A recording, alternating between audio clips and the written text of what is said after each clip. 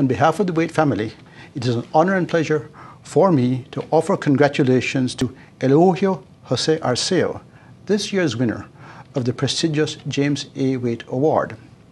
Mr. Arceo hails from San Pedro Town on the beautiful island of Ambergris Caye, where he is affectionately known simply as Don Elito.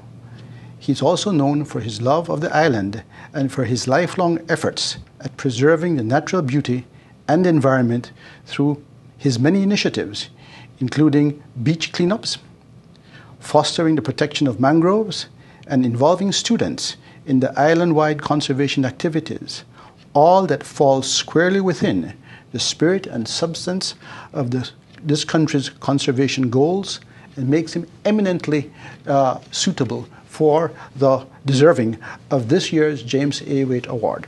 My father did not know Don Elito. They were from two different times and two different places.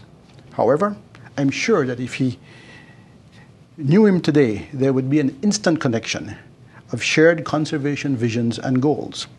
We are a young nation.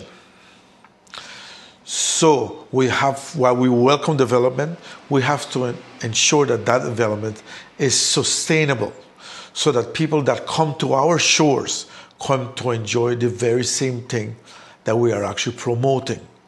So thereby, we don't want to look at something as destroying the very same thing that makes us bliss